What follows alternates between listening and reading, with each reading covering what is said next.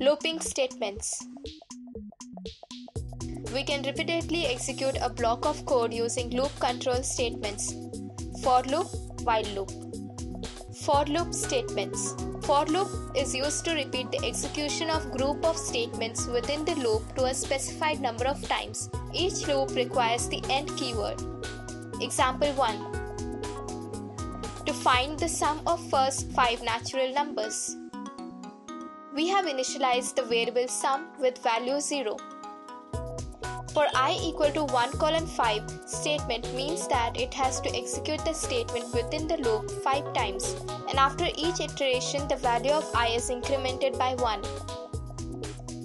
It is similar to writing as which tells that let loop get executed while i value goes from 1 to 5 with an increment of 1 in i value after each iteration. So, in the first iteration, the value of i is 1, so sum is 0 plus 1 equal to 1. Similarly, in the next iteration, the value of i will be 2, so sum equal to 1 plus 2 that is equal to 3. Hence, it loop continues till the value of i becomes 5. So, sum is equal to 10 plus 5 equal to 15.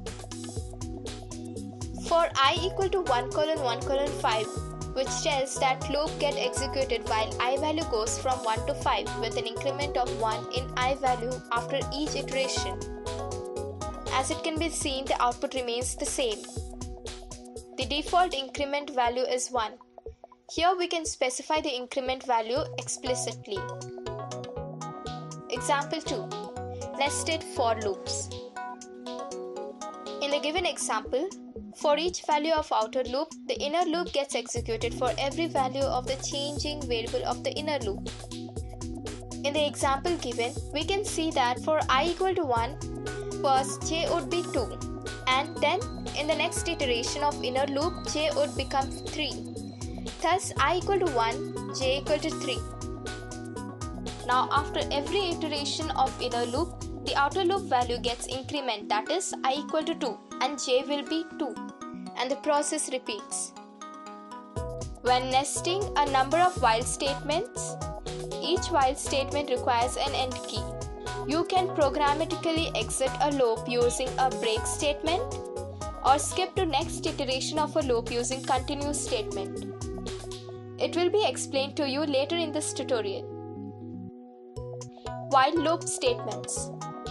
While statements loop as long as a condition remains true. The execution of group of statements in the loop is repeated till the expression is true. Example We'll perform the same example we used for explaining for loop but now using the while loop. In the given example, we have initialized the variable sum equal to 0 and the variable i equal to 1 which is used in expression to repeat the execution of statements inside the while loop. At first, since i equal to 1, the expression i less than 6 is true. Hence, the statements inside the while loop would be executed. That is, sum equal to 0 plus 1 equal to 1. i will be equal to 1 plus 1 equal to 2. Now the value of i equal to 2 and the expression is again checked i less than 6 which is true. Hence, again the statements would be executed that is sum equal to 1 plus 2 equal to 3 and i will be i equal to i plus 1 that is equal to 2 plus 1 equal to 3. This process continues until the expression i less than 6 returns false. For more tutorials on MATLAB, visit matlabhelper.com.